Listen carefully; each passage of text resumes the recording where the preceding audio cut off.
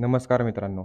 स्वागत आहे तुमच्या सर्वांचं पुन्हा एकदा सफर आत्मा से परमात्मा तक्का या यूट्यूब चॅनेलमध्ये मित्रांनो आत्ताच नुकतीच श्री क्षेत्र जेजुरी या ठिकाणी खंडोबाची गणपूजा हा उत्सव पार पडला.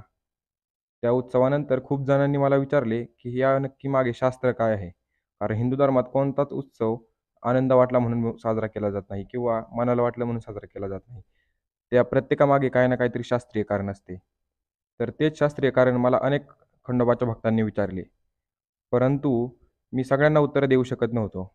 त्यामुळे मला वाटले कुठेतरी यावर व्हिडिओ बनवणे अत्यंत गरजेचं आहे. त्यामुळेच हा व्हिडिओ आज मी त्यावरच बनवणार आहे. तर मित्रांनो तुम्हालाही माहिती आहे का? गणपूजा म्हणजे काय असतं नक्की? आणि ती का साजरी केली जाते? हा अत्यंत मोठा उत्सव खंडोबावरती साजरा केला जातो. सतयुगातली गोष्ट आहे बघा मित्रांनो. आषाढ शुद्ध प्रतिपदेला श्री मार्तंड भैरव यांनी मणिमल्ल राक्षसांचा वध केला. आता मणिमल्ल राक्षस हे कोण होते? तर हे लवतळेश्वर या ठिकाणी सप्तऋषी जे पूजा करत होते त्यांच्या पूजा कार्यात विघ्न आणायचे काम करत होते. या मणिमल्ल राक्षसांनी ब्रह्मदेवाकडून वरदान मिळवले आणि त्या वरदानाच्या आवेशात येऊन त्यांनी अत्यंत दुराचार चालू केला. सगळीकडे त्राही त्राहीमा त्राहिमाम करून टाकला. यालाच कंटाळून सप्तऋषी यांनी भगवान शंकराची आराधना केली. भगवान शंकरही त्यांच्या आराधनेला प्रसन्न होऊन त्या ठिकाणी आले. आणि भगवान शंकराने लवतळेश्वर या ठिकाणी जेजुरीतच हे ठिकाण आहे मित्रांनो. या ठिकाणी खंडोबा अवतार धारण केला. म्हणजेच मार्तंड भैरव अवतार धारण केला.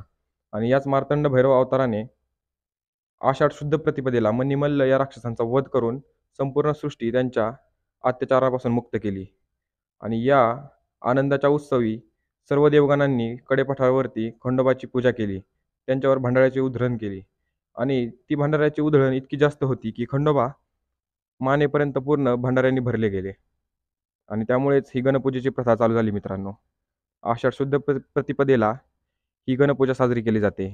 आपले शास्त्र असं सांगतात की आषाढ शुद्ध प्रतिपदेला मनी आणि मल्ल राक्षसावर विजय मिळून भगवान शंकर म्हणजेच मार्तंड भैरव या एक हे कडेपठारावरती आले होते. या दिवशी सर्व गणांना आनंद झाला आणि मणिमल्ल राक्षस मेल्यानंतर सर्वगण आनंदाने खंडेरायाची भंडाऱ्यांनी पूजा करू लागले.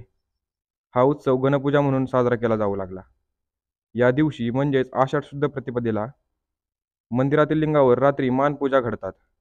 त्यानंतर लिंगावर भंडारा व्हायला जातो. गावकरी मानकरी भाविक आपल्या इच्छेनुसार भंडारा वाहतात. देवाची मिरवणूक वाजत गाजत निघते. ती मंदिराला प्रदक्षिणा मारून वाघ्या मुरळीसह छबिना गडाला प्रदक्षिणा घालतो.